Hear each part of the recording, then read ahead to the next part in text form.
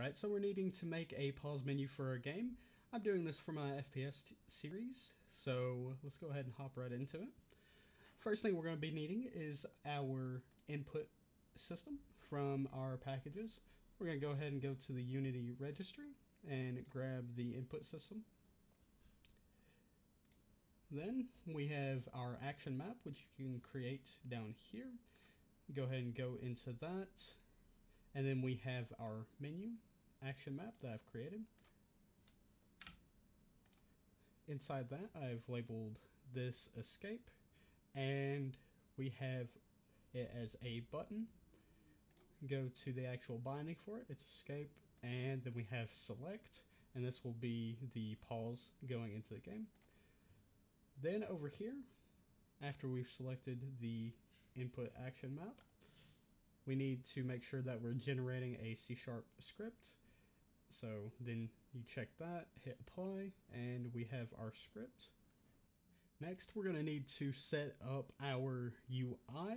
You can set that up however you would like. I'm to go ahead and show you in my game. I don't have a UI yet, but I have already created it. Alright, and here is my UI.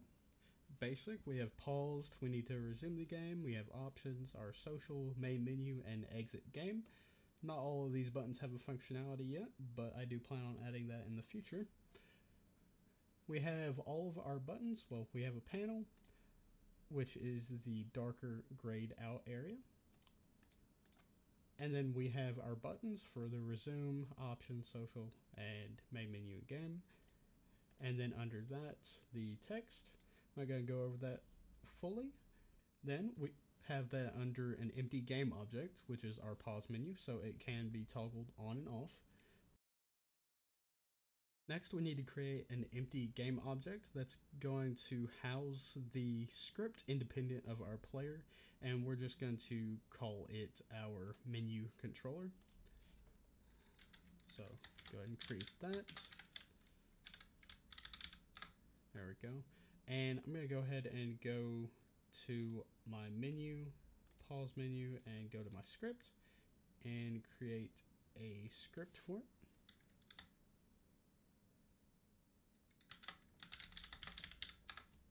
go. And I'm going to go ahead and just drag that onto there after it compiles. There we go. Alright, hopping right into our script, we need to make sure that we have a call to our input map and an input action. So we're just going to do, well, up here above in our using area, we're just going to be using, if I can type, engine dot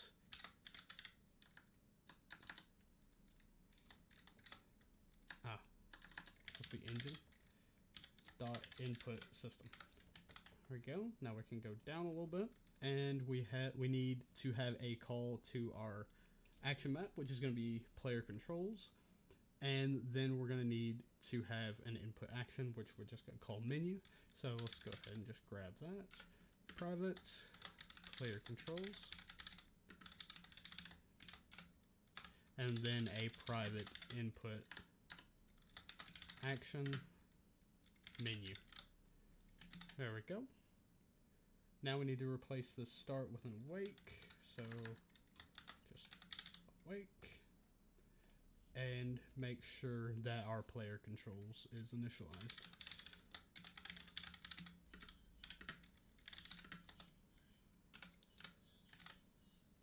There we go. Now we need to have something to get the UI as well as tell us when we're paused. So we're just gonna do this. It's gonna both be a serialized field. We're gonna have our game object for our UI. And then we're gonna have not a game object, but a bool for is paused.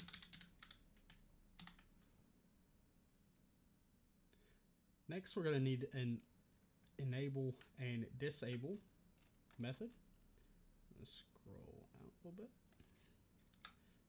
Go down and on enable, and then an on disable. There we go. Inside of our on enable script, we're going to be calling our menu and getting it equal to our player controls dot menu dot escape. If you're wondering where these variables are coming from, we go back to our game, go back to our action map, you'll see that it's getting it from player controls, getting it from menu, and then getting escape, which is what we have here. Player controls, menu, escape. And then next we need to enable the menu. So menu dot enable. There we go. And then before we can do this next part, we need to get our menu dot disable. and then we need to create the method for actually pausing the game. So we're just going to do void pause. Oh, pause. And we're going to have to have a callback context. So we're just going to be doing input action dot callback context and you can name this whatever you want. We're just going to use context. There we go. Now back in our on enable, we can go ahead and menu dot performed is plus equal to pause.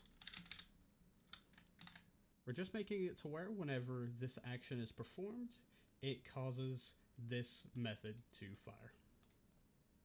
Alright, and back in our pause method, we need to make sure that is paused is equal to not is paused.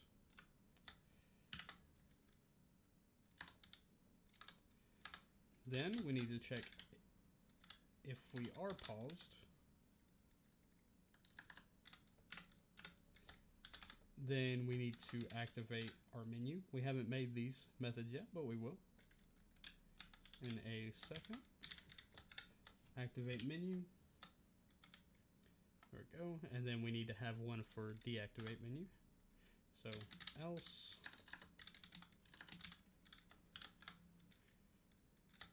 deactivate.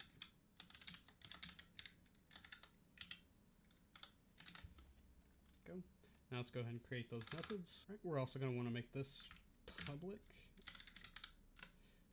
I accidentally made this public instead. Our pause method is not supposed to be public, but our deactivate menu is. This is for later on whenever we want to use our actual buttons. Now into our activate menu, we're going to be taking our time scale and equaling it to zero. We just want to do that so the game pauses. And then we also want to make sure that the audio that's going on in the game also pauses.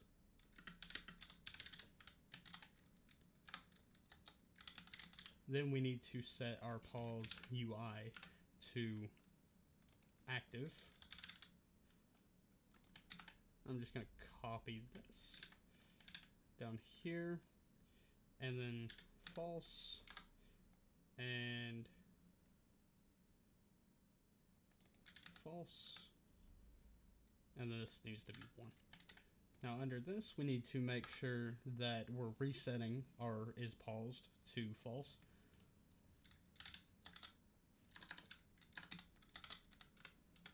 There we go.